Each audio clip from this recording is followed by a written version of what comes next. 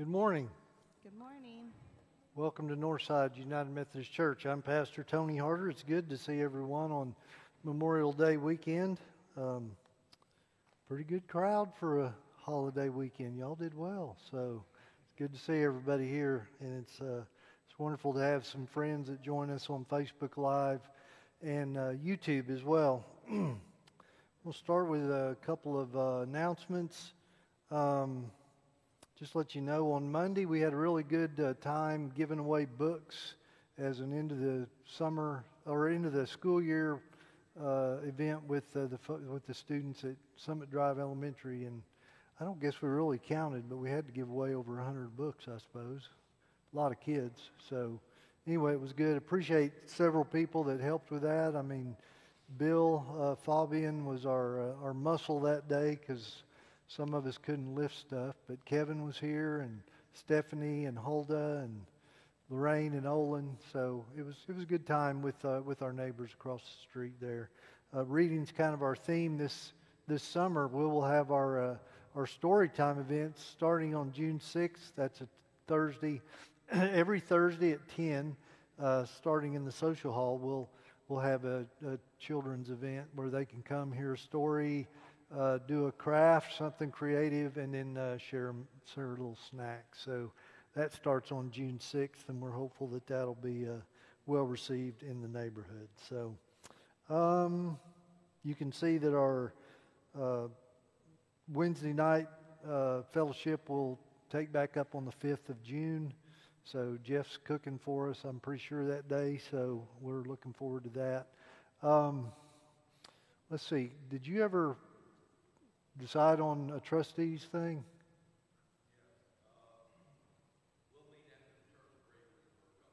Okay, so if the trustees could meet with Clay uh, here after church, um, got a couple of items that we need to take care of there, if uh, if you would.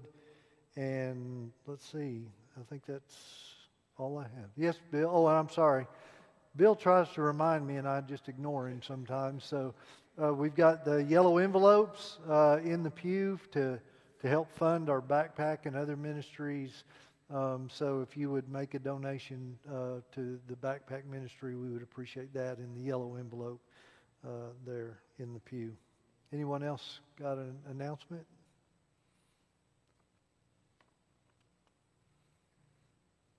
Well, you know, I'm not going to dwell on it, but it is Jessica's last day, so I have to give her a little bit of hard time about it. But it's the last Sunday we'll have her playing for us, uh, at least for the immediate future. But uh, we just uh, we're grateful for you being here, and and uh, we'll have some prayer about you and your future later.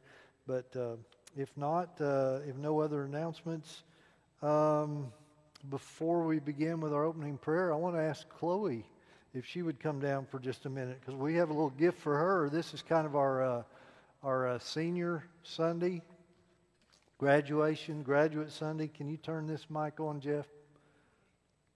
Is it powered? It is now. There you go. Why don't you hold that? How's Chloe? I'm doing good. Good. School's Yeah. out. Yep. When did you graduate? May 22nd. Okay. Do I need to take? Can y'all hear me? You're fine. Yeah, they can hear you. So you got exciting plans? Yeah, I'm gonna uh, go to Greenwood Tech and uh, while I'm like enrolled for nursing, Oh, okay. and then I want to like it's they said it was easier to transfer like to if you wanted to transfer to a like another one to get more. Then I wanted to transfer to Clemson, but I'm gonna start off at Greenville. You're going to start at Greenville Tech? Yep, Okay. for This- nursing. so Start this fall or? Yep, this fall. Okay. What are you going to do in the meantime? Um, Work? Work and be with them. Be with them? Yeah. Spend time Huh? Yeah. Okay. all the time. Well, you've been uh, just such a wonderful blessing to our church, and you know we're we're grateful that God sent you here to spend some time with us. Uh, we got you this uh, nice Oh uh, study student Bible. It's it's nice. Got lots of notes in it, I've and got your name on there. Well, you don't need to do that, but but uh, we just want you to know that that you're very special to us, and and we wish you the best.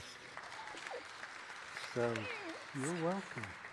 So uh, so we're going to give you that, and I'm going to just pray with you. Okay, let's pray. Dear Lord, as uh, Chloe uh, strikes out on new adventures in her life, we pray your blessing on her, that, that you would be with her and keep her on a, on a path of love and success, and that uh, she would be a, she will be a wonderful nurse uh, or where, whatever profession she decides. But Lord, we thank you for her and, and her love and her service, her witness, her ministry, her worship here at Northside and wherever she goes. She is a shining light to everyone that she encounters, and we thank you for her. We love her and uh, ask your blessing on her, Father. In Jesus' name we pray. Amen. Amen. Okay. God bless you, dear. Okay, now, let us open our worship in prayer. Let us pray.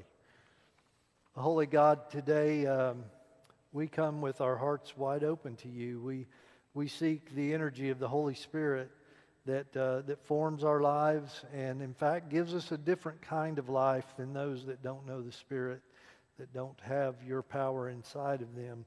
Let our worship be filled with the Spirit today as we uh, express our love for you, love for one another, and, uh, and our hope for the world. It's in the name of Jesus we pray. Amen. Good morning. Let's open with hymn number 393, Spirit of the Living God. Let's sing this through two times standing together.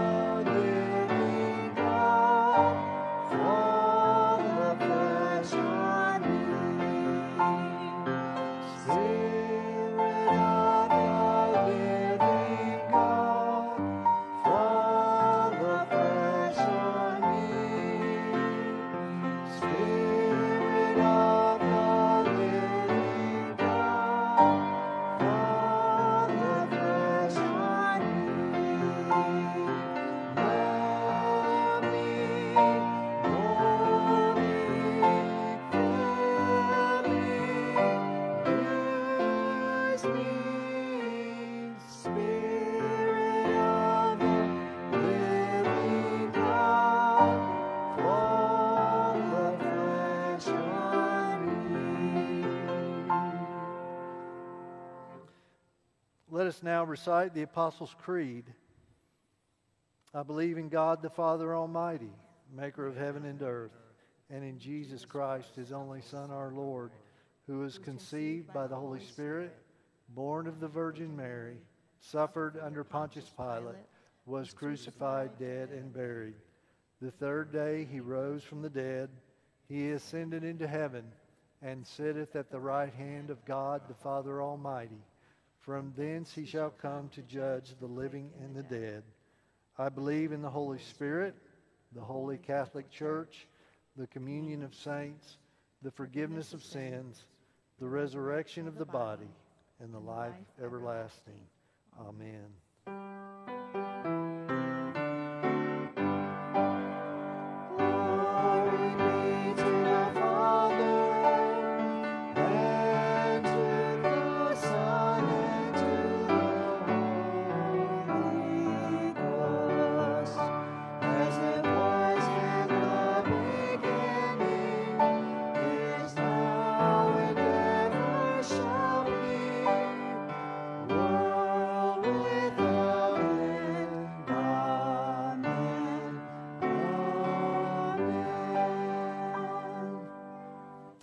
Be seated.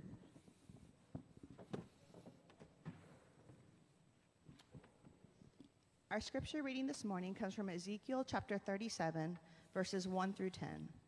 The hand of the Lord came upon me, and he brought me out by the Spirit of the Lord and set me down in the middle of a valley. It was full of bones. He led me all around them. There were very many lying in the valley, and they were very dry. He said to me, Mortal, can these bones live? I answered, O Lord God, you know. Then he said to me, Prophesy to these bones and say to them, O dry bones, hear the word of the Lord. Thus says the Lord God to these bones I will cause breath to enter you, and you shall live. I will lay sinews on you, and will cause flesh to come upon you, and cover you with skin, and put breath in you, and you shall live, and you shall know that I am the Lord. So I prophesied as I had been commanded, and as I prophesied, suddenly there was a noise, a rattling, and the bones came together, bone to its bone. I looked, and there were sinews on them, and flesh had come upon them, and skin had covered them. But there was no breath in them. Then he said to me, Prophesy to the breath, prophesy, mortal, and say to the breath, Thus says the Lord God, Come from the four winds, O breath, and breathe upon these slain, that they may live. I prophesied as he commanded me, and the breath came into them, and they lived and stood on their feet, a vast multitude. This is the word of God for us, the people of God. Thanks. Thanks, Thanks be be to to God. God.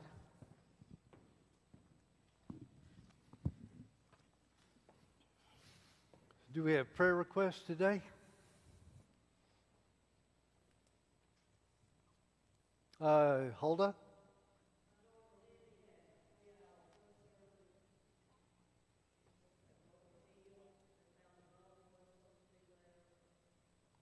Okay, so Hulda's daughter Libby had surgery on her foot, so okay, well we'll uh, we'll be praying for Libby. Did I did I see another hand over this way? Yeah, Bill.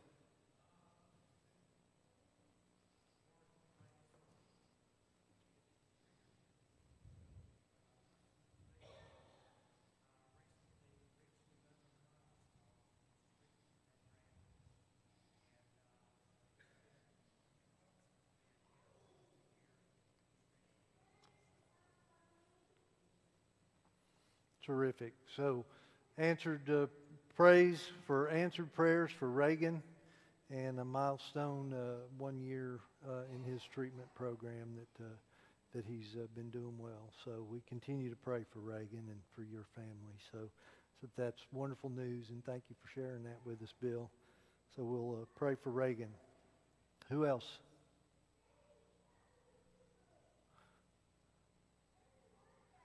We've got. Uh, oh, go ahead, Katie.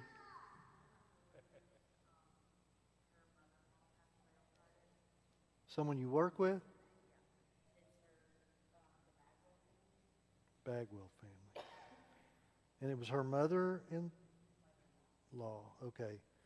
So the Bagwell family for a for death in the family. So okay, yeah.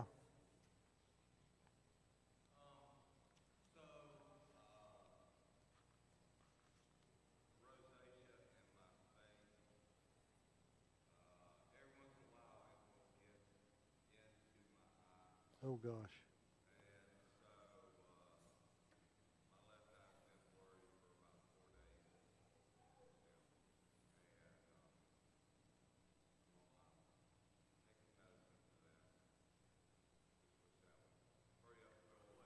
Okay. Well, we we can offer some prayer on that. So, okay. So Clay's got uh, got some ro- rosacea that uh, is affecting his eye. I didn't know that could happen. So, uh, it's affecting his vision. So, Clay, we pray we will be pr- praying for you that that uh, that the medication does its job and you feel better soon. Thank you. Yeah. Um, so Jessica and Josh are uh, taking a week away. Our daughter and her husband are taking a week away, and uh, so we pray that they have a good, safe trip. And we have several traveling. We have uh, Lorraine and Olin, and I think Jerry and Charles are with them uh, traveling this weekend. So we pray for safe travel. Um, thank you for your prayers for me, and I am feeling better and stronger day by day. So. People keep reminding me, though, I'm not young anymore, so it's supposed to take time. So that I need to slow down. So, but uh, anyway, so that's a struggle. Kevin, hopefully you're feeling better today uh, after his uh, his. Uh, well, that's awesome. Okay, so we praise and uh, pray for Kevin. And you know, it, it is a special weekend, Memorial Day. That that holiday we set aside to think of all of those who gave so much that we can enjoy the, the freedoms and benefits of living in America. Um, you know, this just the freedom that we share just doesn't happen. It has to be fought for, just as our faith has to be fought for. And there are, thank God, people that are willing to stand on the on the ramparts to watch over us. And so I'm just so grateful for people who have given their lives in service, who have literally given their lives that we can live the way that we are. And that's what, uh, that's what this day is for. So we pray for that. And uh, of course, we do pray for Jessica and, and James and whatever journey they'll be on after uh, Jessica's done playing here. But uh, we, uh, we will certainly be thinking of you and missing you, but we pray you, you, uh, your life goes well. So, anyone else? All right, let us pray.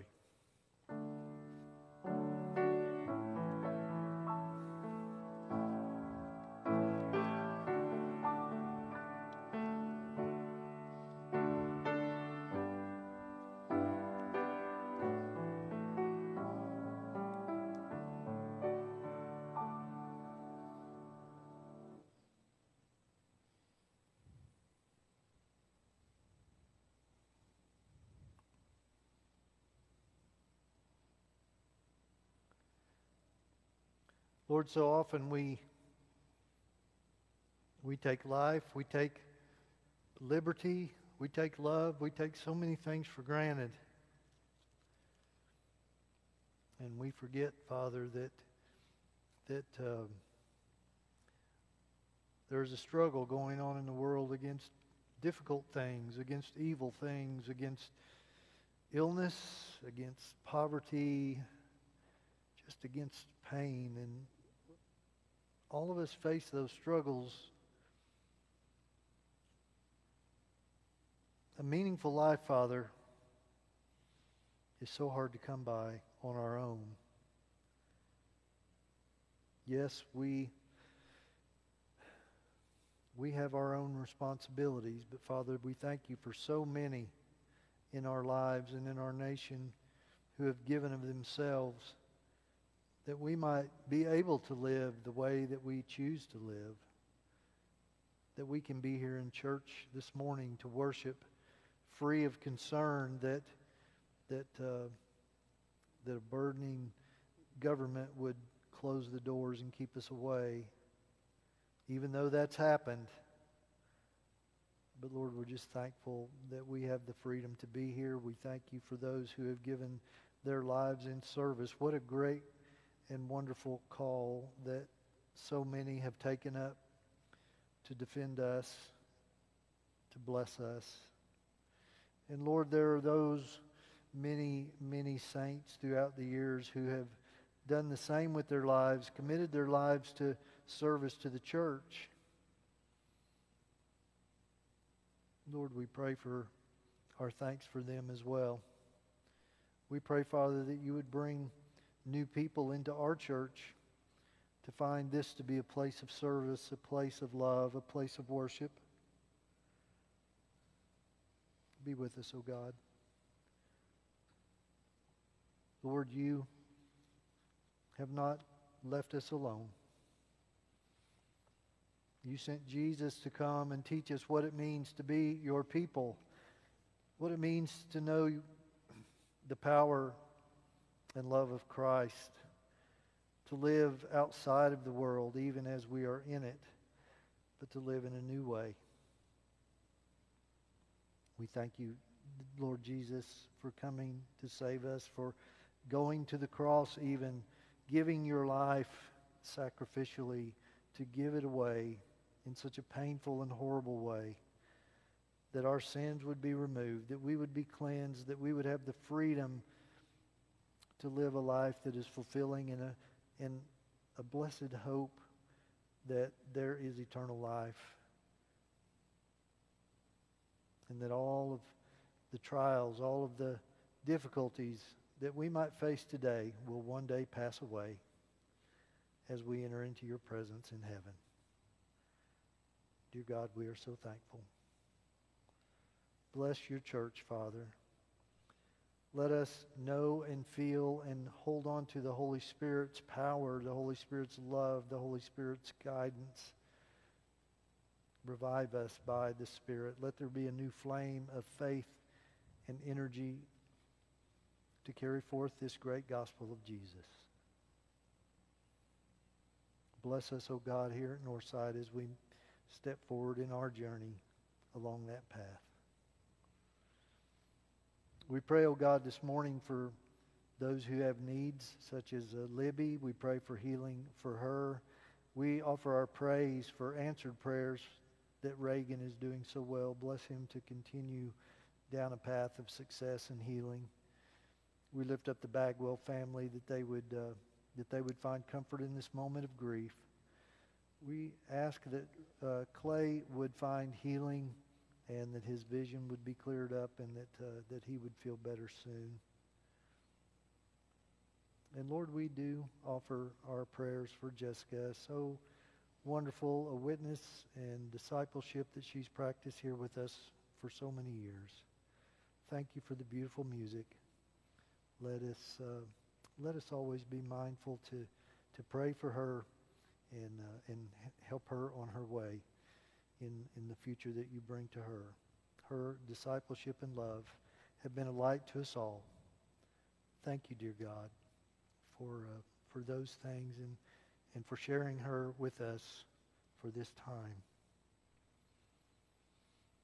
Lord, we, um, we offer these prayers today out of, out of the love that we have for you, out of the devotion that we give to Jesus Christ let us do his, his work here at Northside to share his love throughout Greenville and the world.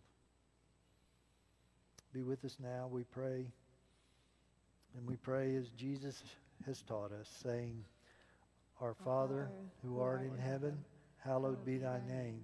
Thy kingdom come, thy will be done, on earth as it is in heaven. Give us this day our daily bread and forgive us our trespasses as we forgive those who trespass against us.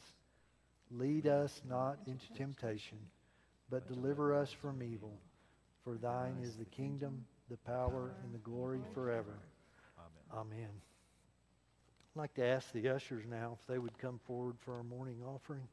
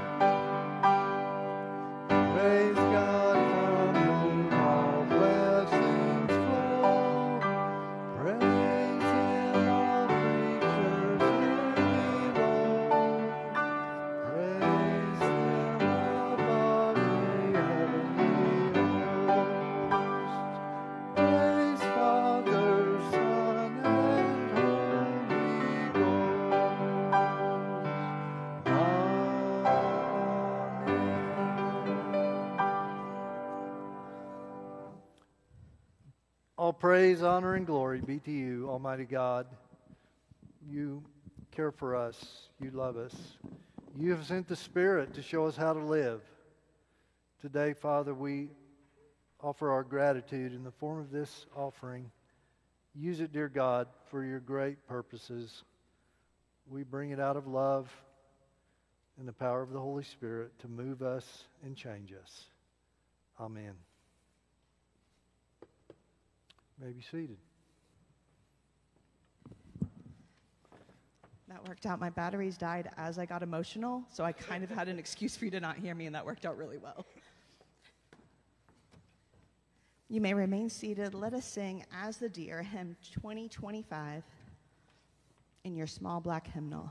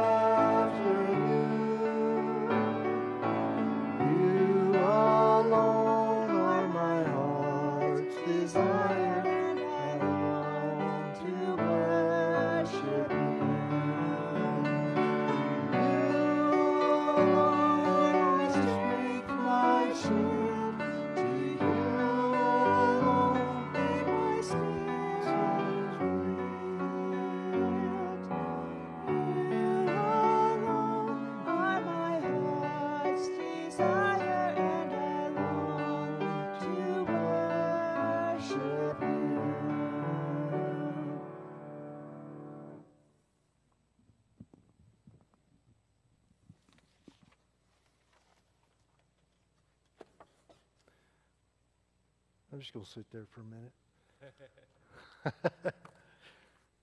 I had a note I didn't want to, thought I didn't want to lose, so.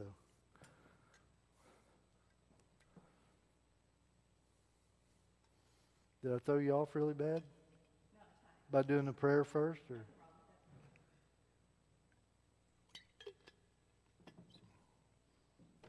Well, I dare say you've done that over the years. So, let us pray. Holy God, as we hear your word today, Father, I pray that, uh, well, I pray my thanks, Father, that you allow me to, uh, to speak it, to uh, present it. I pray that I do it in a way that is true to your heart and that uh, would speak to our own, to the hearts of all gathered here, and others that might hear it today. Use me, Father, as an instrument of your word. Let through the power, the encouragement, the truth, and the love of Christ might come through now as we study in Acts chapter 2 and Ezekiel. Dear Lord, may the words of my mouth and the meditations of all of our hearts be pleasing and acceptable to you. You are our rock and our redeemer. Amen. You know, you get in kind of a kind of a rhythm when you preach and when you when you preach every Sunday and uh, not being able to do that last Sunday and uh, you know kind of kind of threw me off a little bit. So we'll see what God uh, God has to tell us in these stories. It's it's uh, I'm preaching out of Acts two, which is really the story that we might have talked about last Sunday on Pentecost Sunday, but uh, it was a sermon that I'd started on, and I wanted to to just bring it to you today. So we'll talk a little bit more about the Holy Spirit's coming at Pentecost. Um, we're studying out of Acts chapter 2, and uh, I'm just going to read the first four verses. When the day of Pentecost had come, they were all together in one place, and suddenly from heaven there came a sound like the rush of a violent wind, and it filled the entire, entire house where they were sitting. Divided tongues as of fire appeared among them, and a tongue rested on each of them. All of them were filled with the Holy Spirit and began to speak in other languages as the Spirit gave them ability. This is the Word of God for the people of God. Thanks be to God.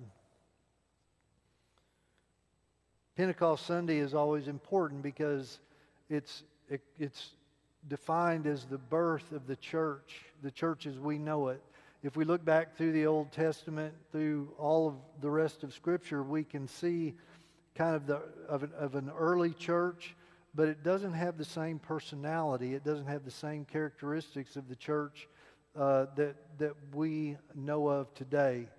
Um, and this passage is, uh, and all of the book of Acts is a is a model for us. Given the events of certainly the last few weeks uh, in our church, as in the United Methodist Church, we can recognize that the, the church is struggling with some things. The church is struggling with how to deal with a modern culture in the context of an ancient Word of God that has, has endured for literally thousands of years. The church is struggling. We get tired of hearing it, but church attendance is down. More people in the world today identify as either agnostic or outside of the church. They might feel the presence of God somehow, but, but they don't choose to act on that feeling. Something is wrong. Something is wrong with the church. Even if we look at our church and we look back at the history of our church, it's almost a microcosm or, or, a, or a summary of what's happened in, in the church uh, universal throughout the world. You know, started back in the early 50s and then through the 50s and 60s and maybe 70s, you know, experiencing uh, what we might call explosive growth. You know, starting in a little chapel, well, starting even before that, probably in somebody's home, and then in a little chapel, and then expanding to this beautiful sanctuary. And even during that expansion, these pews were probably mostly filled on most Sundays. And yet we look today and we ask, um, where have those people gone? It's as if as people have passed on or moved on, God hasn't decided to bring new people to, to backfill. We have seen in Northside the birth of a vital body of believers that grew and expanded and had an energy for God until it didn't. And that's not a criticism. It's not a criticism of people that are here today faithfully serving and seeking more for our church. But it is a recognition that there's a question of why. We want answers. We want to know what is it, oh God, that we need to do to be more vital, to, to have more energy. As we look at the book of Acts, we can see the, the characteristics, the, the, the things, the ideals in the early church that can teach us about being vital and powerful for God. And there's one, one key point that seems sometimes so out of reach, and yet it's so accessible to us. And that's what we want to talk about today is the role of the Holy Spirit in our lives. We can start with the not the reading I uh, just read from Acts, but the story that Jessica read from Ezekiel, because that that also kind of weighs into the story of the church and where we are. And then we'll move into the day of Pentecost and see what the answers are about finding revival and renewal in the church. But we have to ask ourselves do we care? Do we really care? Do we desire to be a part of a church that is on fire for God? A church that's vital, a church that's strong. Let's talk about Ezekiel for a minute. In this passage, God takes Ezekiel the prophet to this barren place where obviously something terrible has happened at some time in the past. There must have been a, a horrific battle. Don't really know, but as Ezekiel looks out over this plain, he sees nothing but bones. God takes him there to teach Ezekiel of the things that make a difference to God and his people. the things that make a difference was not the place and it was not the government. The thing that made the difference was God. God used this valley full of bones as a lesson to Ezekiel. And we might, as we consider the state of the church today and why we are where we are, we might look around us and see a lot of bones. As I drive here every time I come to the church, I pass a number of small churches, nice churches, and we never see anything going on there. Are they bones of healthy, once healthy churches scattered across the landscape? God brought Ezekiel there for a purpose, not just to show him what had happened, but to show the possibilities of what can happen. And God wasn't the only force at work there because God spoke to Ezekiel time and time again, and he said, Ezekiel, prophesy. Speak to these bones. We might say to ourselves, what's the use? But God didn't say that to Ezekiel. God said, even though it seems dry, even though it seems dead, even though it seems that there is no life here, if you speak, I will honor you. I will bring power here and I will transform this place. When Ezekiel spoke through God's command, the, the bones literally began to organize into human skeletons and eventually take on muscles and skin.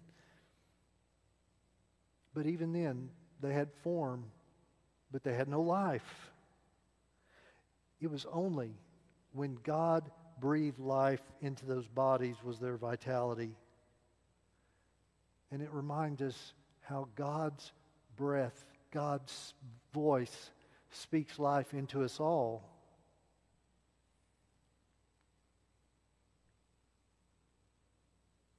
God wanted Ezekiel to see something other than the bones. He wanted to see the, him to see the possibilities. And he asked Ezekiel, he said, Can these bones live again?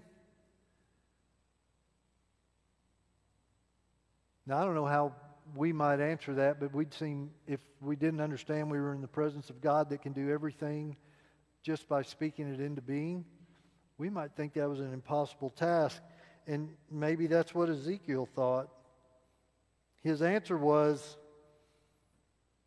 Only you know, Lord.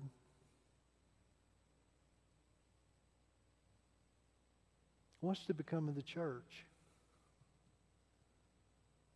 God is asking us, can these bones live? And our answer can be, only you know, Lord. Only you know. Ezekiel was stunned by that question. He did not know if or how the bones could live. But God said, You have a role in making them live. God said, Ezekiel, speak to the bones. Don't stop. In other words, don't stop. Don't assume that you shouldn't speak just because they don't seem to be something that you think they should be. God told him to prophesy unto the bones, and God said, and God then would cause them to live. God wanted Ezekiel to know about the possibility in the, in the book of Ezekiel. He wanted God, Ezekiel, to know about the possibility of Israel's restoration, that Israel would come to their land and become a light to the nations again. It's a lesson for us that no situation is too hard for God. God takes lives that are ruined, not by His actions, but by our own sin.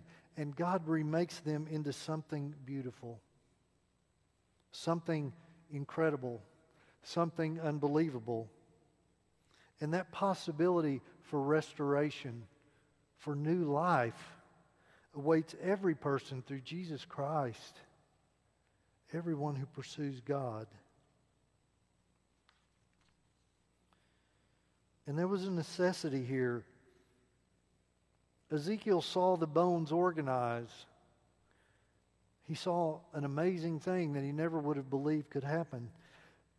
But at some point, he recognized that there was no breath. They were a body, but there was no breath. There was a body, but there was no spirit. We must ask ourselves in the church where is the spirit? Are we a body of believers with or without the spirit?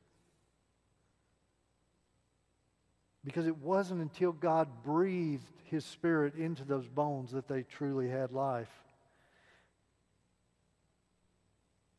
In the story, Israel could not restore herself. Human wisdom and strength availed nothing. Only God created the vitality for those bones. Only God can create vitality in our lives. No one can come to life, true life, a truly meaningful life, a truly powerful life, a truly informed life, a truly safe life without the breath of God. God in our lives is what makes all the difference. God wants to live within each of us through his Holy Spirit. And he sent Jesus here to teach us that. And Jesus is a precursor to that Spirit's coming. So we think about that breath of God that we read about in Ezekiel, and then we jump ahead to the day of Pentecost. Why were all these believers together? Why had they, why had they gathered? It says in verse 1 when the day of Pentecost had come, they were all together in one place. Why were they together? They were together because that's what Jesus told them to do. And it's kind of kind of odd for most of us because we don't like to wait on things to happen. But Jesus told them after he gave them the Great Commission, he said, Go to the city and wait. You wait for me. You wait for me. Seemed like a very odd first step to create the base, to, to, com, to com, begin that Great Commission. Basically, telling his believers don't do anything until the Holy Spirit comes upon you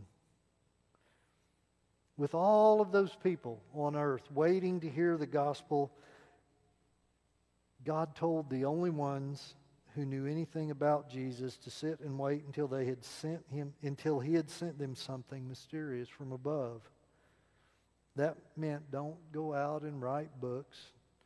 Don't go tell a bunch of stories. Don't try to make converts. Just wait. Wait on the Holy Spirit. Waiting is hard. But Christian waiting is a little bit different. Because as we wait, we pray, we worship, and we seek God's Word. Even as we wait, we try to grow closer to God. And the other lesson to learn about this is we really never know how God's going to work. I don't really believe that they expected when they were in that room or as they went to that room that they would see what they saw, experience what they experienced.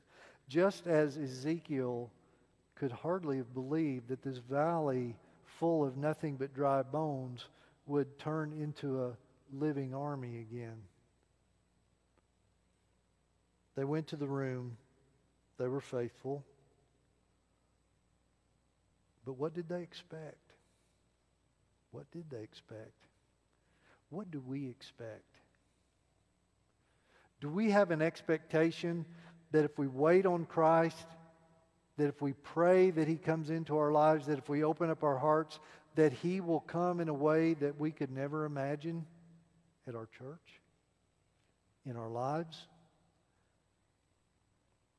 We are no, that is no less available to us than it was then. God is still available to do the unexpected for us and often does the unexpected. We pray and pray and ask and seek and want. And then God says, you know what? You've totally missed it. Here's the best way. A violent, a sound like a violent wind filled the room. And people that shouldn't understand each other were talking in different languages in the later part of the story, and yet they all understood one another. No one could have expected that. Tongues of fire became tongues of understanding, and for a time completely banished the language barriers of that world.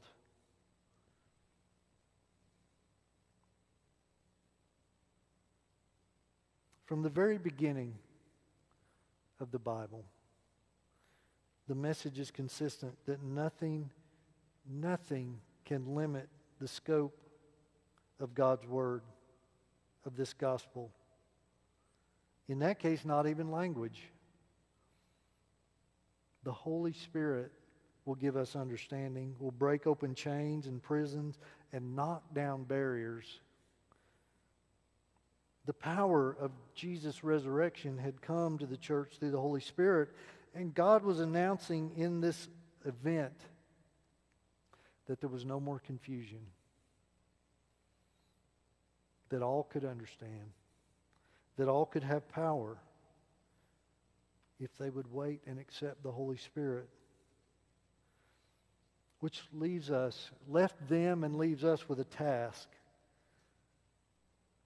we are to proclaim the meaning and the significance of how God acts in the world. Peter gives a wonderful sermon later in that book, tells people what they have experienced and what they will experience, and reminds them of the miraculous thing that they've just seen, they've just experienced, and that it was with God's intention in the Old it was it aligned with God's intention in the Old Testament that his sons and daughters would someday experience the power of the Holy Spirit.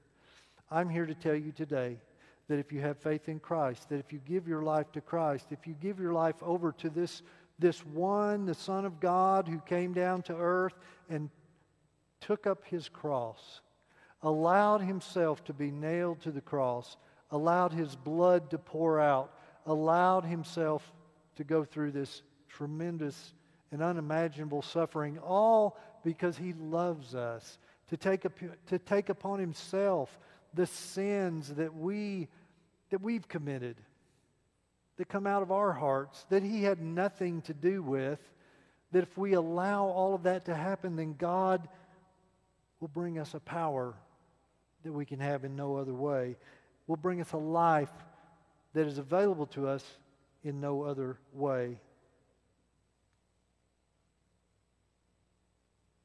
And that because Jesus died and rose from the grave, God says, Go and tell your story. My spirit is in you. When we accept Christ, we feel the presence of God within our hearts in the form of the Holy Spirit.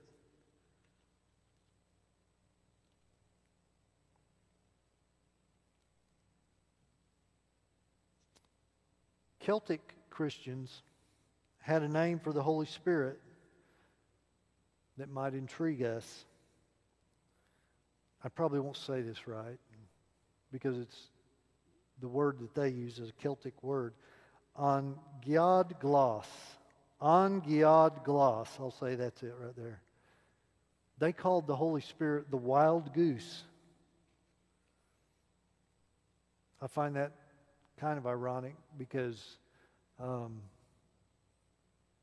when I was a kid back in the 70s, anybody here have a CB radio back then? Y'all don't even know what that is. So, anybody have a CB? I knew Clay would have one. So, um, I had a CB radio. I don't know. I was in either middle school or high school, but but my handle. What was your handle? The movie man. You didn't want to use your real name for some reason on the CB. You had to have a handle. So he was the movie man. I was the wild goose. Don't know why. I thought that was cool. But anyway. But ancient Celtic Christians said the Holy Spirit was the wild goose. And it hints at the, the mysterious nature of the Holy Spirit. Much like a wild goose, the Spirit of God cannot be tracked, cannot be tamed. He has an element of danger and an air of unpredictability about him. And while some might think it's irreligious, sacrilegious to use language like that, maybe we couldn't think of a better description of what it's like to pursue the Spirit's leading through what might amount to a wild goose chase. Maybe they were onto something that we've missed out on as institutionalized Christians, people who've always or mostly grown up in the church, who have a certain mindset and model of what the church should be. Might make us wonder have we clipped the wings of the goose to be something less, to be something tame? rather than what God intended for the Holy Spirit to be for his people.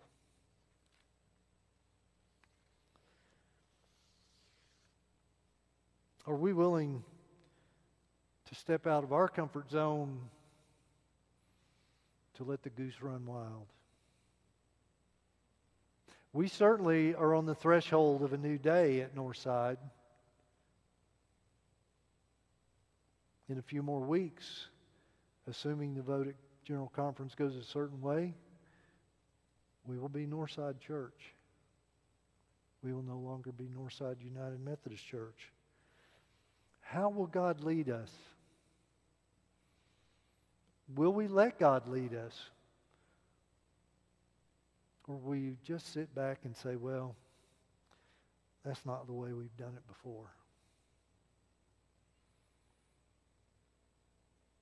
we wonder whether God is acting in our lives, why we don't seem to have power. Maybe our thinking's too conventional. Maybe we're missing the Holy Spirit. Maybe we feel His presence at times as we've seen healing in this church. We've seen answered prayers. But maybe, just maybe, we need to let the Spirit run wild with us to take us to unexpected places and to take hold of unexpected experiences and to find to find a little bit different expression of our faith in Christ. I pray we will stay close to him and that we will let the goose, the Holy Spirit, run wild in our lives. Amen.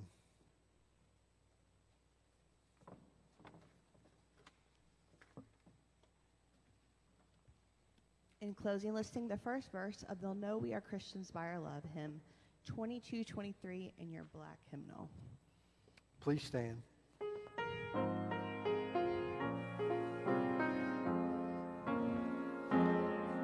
are one in the Spirit. We are one in the Lord.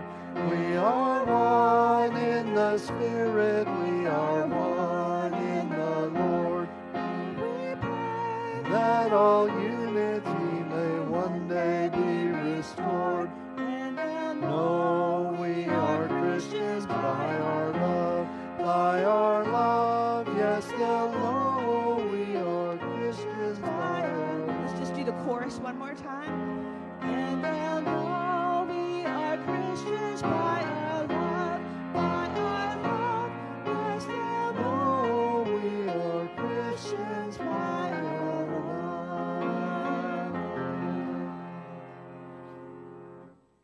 Last verse of that song. It says, All praise to the Spirit who makes us one. As we go today from, from our worship time, let us know that the Spirit is with us. And let us seek an unexpected place, an unexpected way to be the church of Jesus Christ. Be with us, O God, we pray. Amen.